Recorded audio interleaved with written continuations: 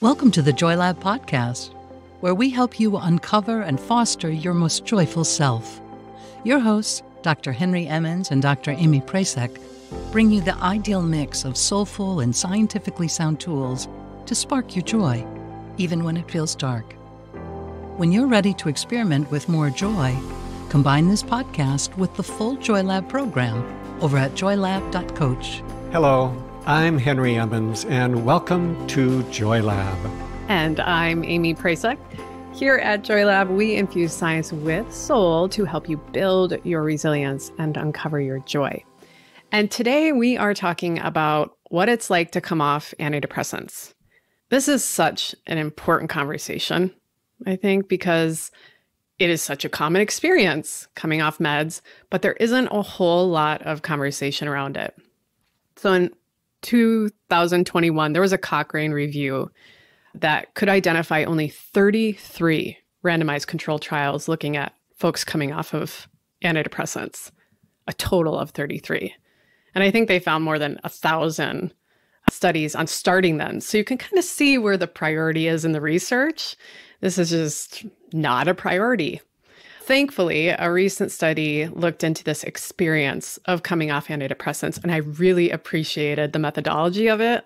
Just to geek out for a moment, uh, this was a qualitative study, so it wouldn't have been put into that group of 33.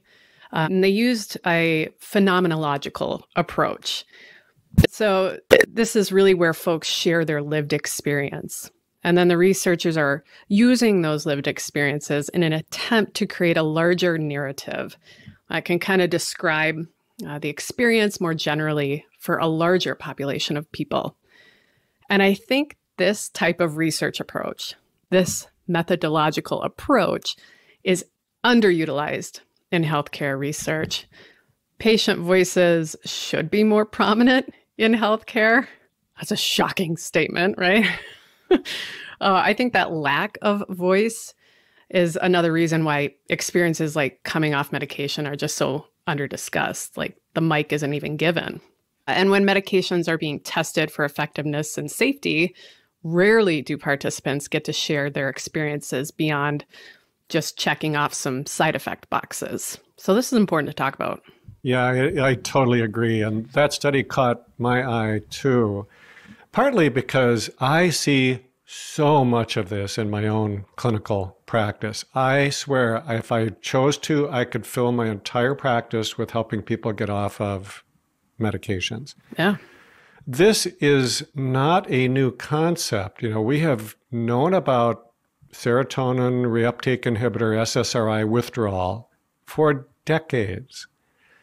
And so it really surprises me. It, and sometimes I am shocked, actually, at how few people, including prescribing doctors, seem to know how bad this can be or how to deal with it.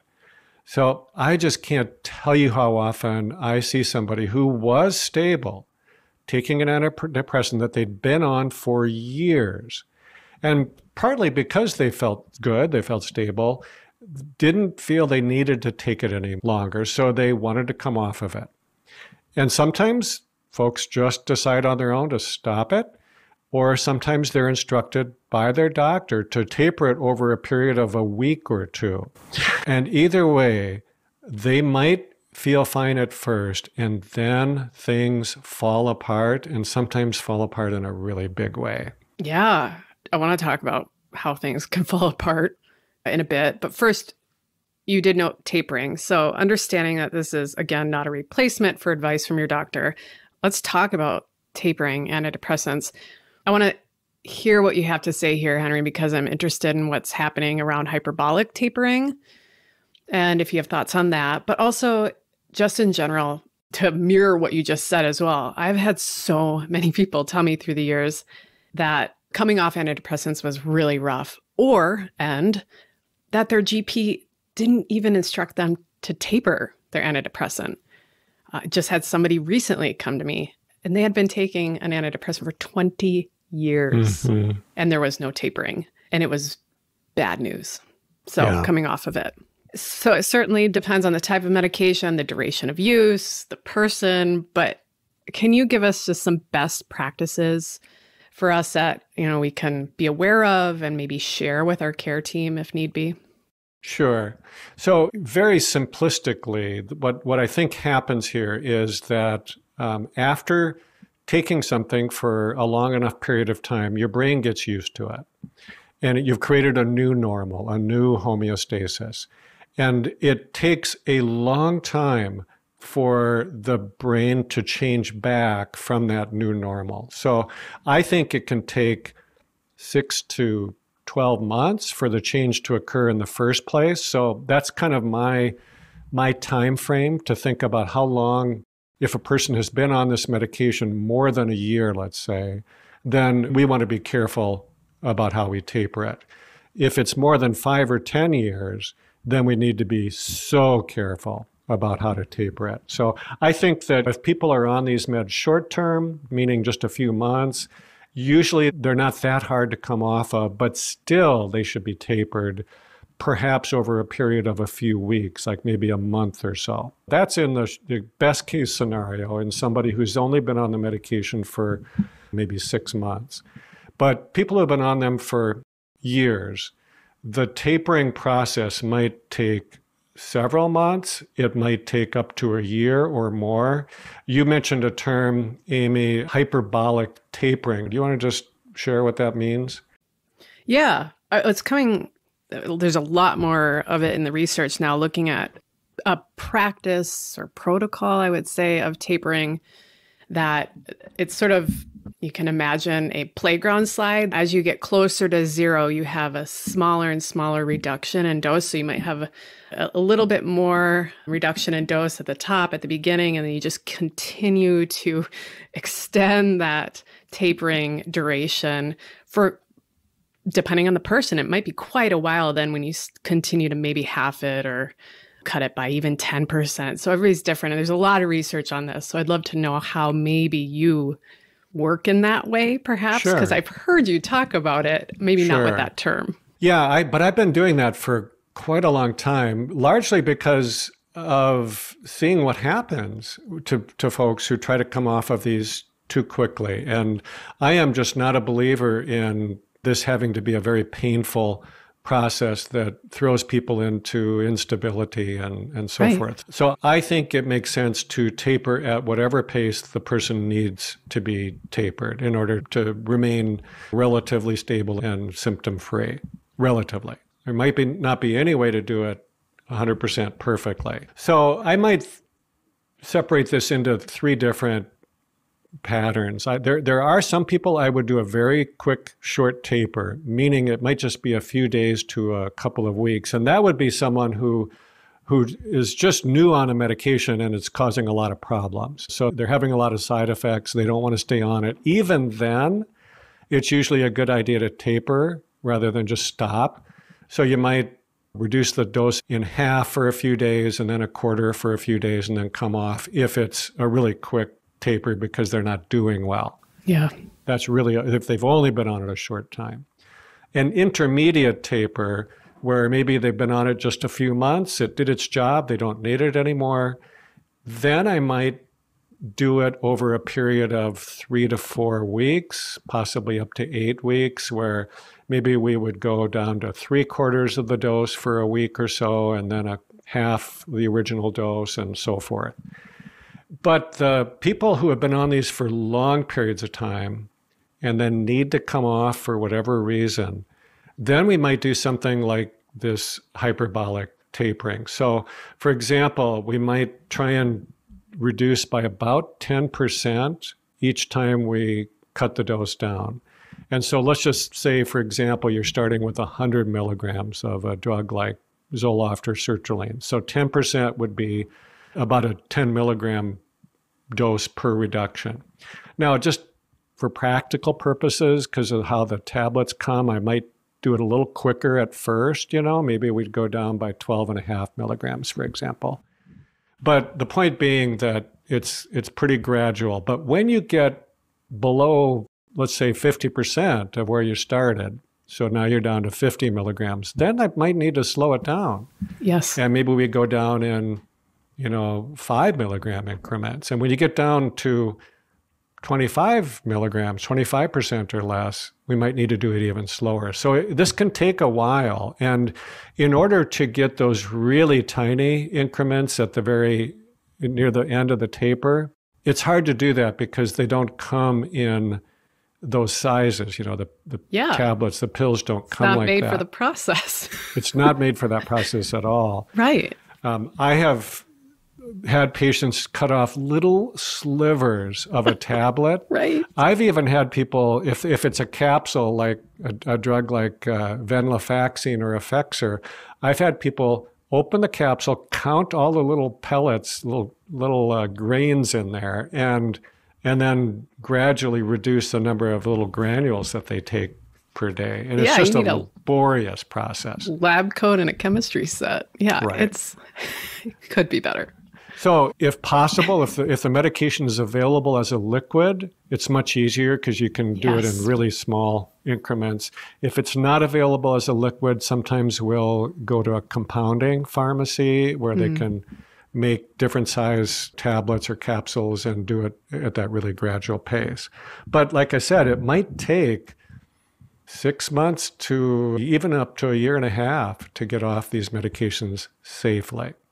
Yeah, this is not jumping off the swing, right? This is going down a long slide Right. for many folks. And I like this research coming out uh, on this too, because hopefully this will inform some new products. There's tapering strips and, like you said, liquids. So, as this research comes about, and if we're seeing efficacy from these protocol, then we can start to get these products in a proper form so that folks can taper. And it's easy. Part of the, just as you noted, Henry, it's just hard to go down slowly when you're trying to chop a tablet into a Right. one sixtieth of its original size.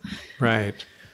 All right, so let's let's pivot a bit into this experience then of coming off of antidepressants.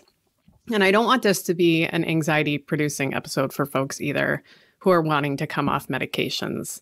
But it is estimated that 50% of folks will have withdrawal symptoms. So there's that. We've talked about maybe some more appropriate tapering strategies that can probably reduce that number, I would say. Significantly. Right. So Yeah. if it's done properly, there's again more work coming out on that. But Henry, can you then talk honestly about what you've seen related to these withdrawal reactions? What are mm. some things folks can expect Yeah. or look out for? Yeah. So I, I think it's worth saying uh, first that this is very much an individualized process. And there are people, it astounds me, but there are folks who can stop a drug suddenly and have no problem whatsoever. That's great when that happens. I don't know what the percentage is Yeah. of times that that happens, especially folks who've been on these drugs for years, but it does happen. So not everybody has this bad withdrawal stuff. And to your point, Aimee, I think that if this is done slowly, gradually, the percentage of folks who have really bad withdrawal symptoms can go way, way down. Yeah. But I would wouldn't promise anybody that they wouldn't have any withdrawal symptoms. Right. It's just a question of how strong they might be and are they just little minor annoyances or is it a big deal?